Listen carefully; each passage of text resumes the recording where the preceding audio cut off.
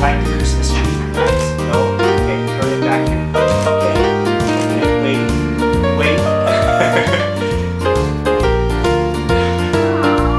you need a good boy, Max. You need a really good boy.